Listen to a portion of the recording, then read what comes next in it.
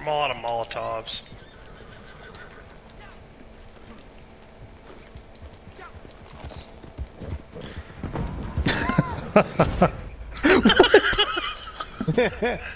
I timed that throw perfectly.